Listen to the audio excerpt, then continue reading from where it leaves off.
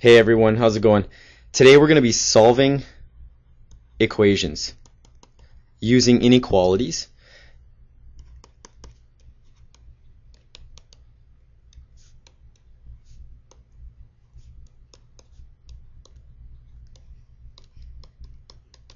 All right. Now, we are in section 6.3 and 6.4 in Math 9 with Mr. Waterman here. So, so far we've looked at how to solve for a variable using reverse operations. Basically, we undo an equation by using the opposite process. So, positive and negative, multiply and divide, and so on. All right. So, for example, um, we've done this in class already. We've got 7x minus 9.7 equals 21.8. And we've got two ways to do this, and I'm going to show you both ways. So first way is the algebraic way. Well, what do we have here? Well, we've got to get x by itself. So we're going to do the exact opposite of what's happening to x. We're going to add 9.7. Whatever we do to one side, we have to do to the other. So we're going to add 9.7 over here. What this does is this goes to 0, and we're left with just 7x equals 21.8 plus 9.7 is going to be 31.5. Now, what is happening to x? Well, 7 times x, so the opposite of times is divide. We're going to divide by 7, divide by 7. 7 divided by 7, just like when we divide anything by itself, we get 1. And we're left with x. x equals 31.5 divided by 7 is 4.5. Now, another way to do this is the arrow diagram. All right, so I'm just going to rewrite our question, 7x minus 9.7 equals 21.8. And so what we're going to do is we ask ourselves what's happening to, to at x. So we put x in a little box here, and the first process that's happening to x is we're multiplying it by 7, and we get 7x. The next step that's happening is we're subtracting 9.7 from that. So we're going to subtract 9.7. And what do we get? Well, we get 7x minus 9.7. All right, and we get 21.8 out of that. Now we do the exact opposite. Well, what did we do? We, we subtracted 9.7. We have to add 9.7. And we get 31.5. And then we times by 7, so we have to do the exact opposite. We're going to divide by 7. And we get 4.5. All right, so we have the algebraic method and the arrow method. All right, so that's a quick review. Now, we've also looked at equations that have a variable on either side of the equal sign. All right, so it looks something like this. Um, we have 12x plus 7 equals 10 plus 6x. Now, we want to get x on one side and our constants on the other. So what do we need to do? So let's check this out. We're going to do the opposite of what the signs say. So we're going to subtract 7 from one side. We have to do to the other, minus 7. Then we're going to rewrite what we have. We've got 12x equals, this went to 0, and we've got 10 minus 7 is 3 plus 6x. Now what we're going to do is we're going to get x onto the other side so that we can we can combine our like terms. So we're going to subtract 6x because that's the opposite of positive 6x. And whatever we do to one side, we have to do to the other. All right, these are going to go to 0, and we're left with 6x equals 3. Now, we've got 6x, 6 times something equals 3. Well, we've got to divide by 6, divide by 6 to get rid of that. This goes to 1, and we're left with x equals 3 over 6. And that if, if we reduce that, we get 1 over 2, which is just a half. All right, so we can solve for a variable now from class and we've seen that. Now, so what we're going to do is we're going to look at inequalities. Inequalities represent situations that have a range of answers. All right, so let's write that down. Inequalities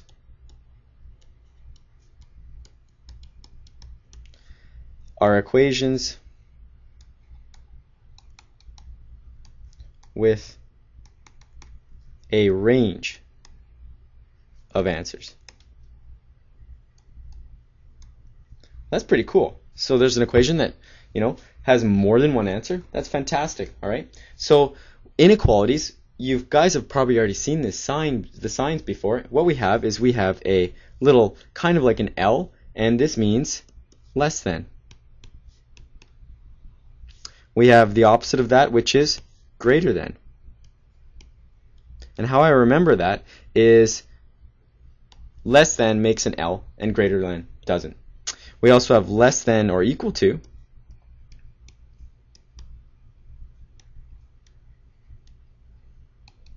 And we also have greater than or equal to.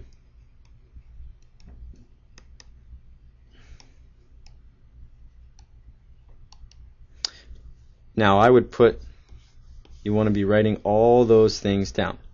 Now let's let's give put some examples here. If I went, went x is less than 5, well that's every number less than 5. So if I wrote that on a number line, it would look like this. I've got 5 right here. Every number less than 5.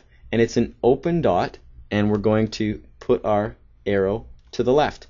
An open dot means that it's everything but 5. So it can be right up to 5, 4.999999. But it's not including 5. All right. So now let's make one for x is greater than 7. Well, what do we have then?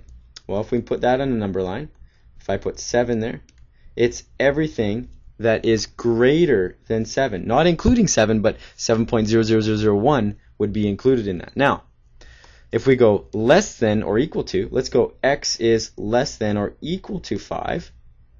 All right? And if we put a 5 in there, that includes 5, so we put a closed dot. And everything is less than or equal to 5. That's all our answers for that equation. And finally, if we put x is greater than or equal to 7, that means if we have a 7 here, it's going to be everything 7 and everything above. All right? Those are the things that you need to be writing down on your sheet there. And finally, you'll notice that our goal is to make inequalities true. So what number solves for x is less than 5? Well, we could put a 4 in there, we could put a 3 in there, 0, and so on. Um, so our goal, our goal is to make inequalities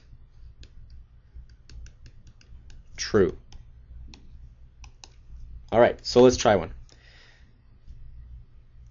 x it, minus 2 is greater than 5.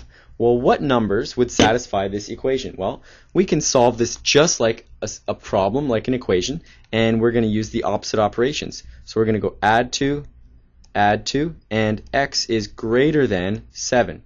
So in this case, x has to be any number greater than 7.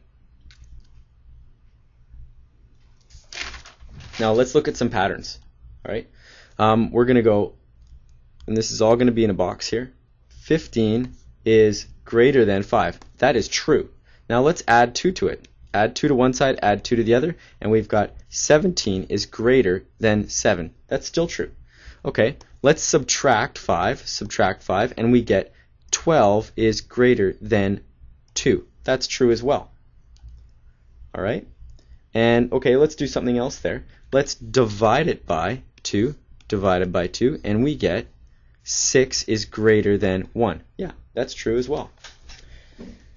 Now, 6 is greater than 1. All right, so now what we're going to do is we're going to multiply by 6, and we get 36 is greater than 6. Yeah, that's still true. Right now, here comes the tricky process. We're going to divide by negative 2. Divide by negative 2. Well, what do we get? A positive divided by a negative is a negative. So we're going to get negative 18 is greater than negative 3. Uh-oh. Negative 3 is not, I mean, negative 18 is not greater than negative 3. So what we're going to do, whenever we divide or multiply by a negative number,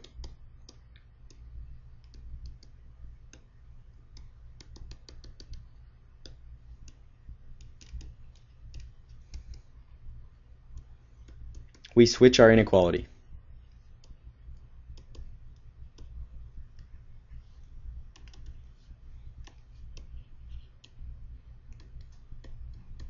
So check it out. We need to switch our sign. And check it out. Now it goes negative 18 is less than negative 3. And that is correct. Okay, so negative 18 is less than negative 3. That's correct. And now what we're going to do is we're going to times it by negative 3. and we get positive 54. And if we bring that sign down, it's still going to be less than, and oh, negative 3 times negative 3 is 9. Is 54 less than 9? No, it is not. So we need to switch our sign.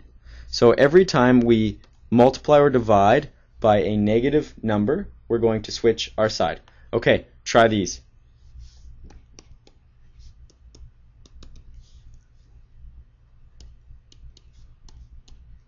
Four x minus seven is greater than or equal to three.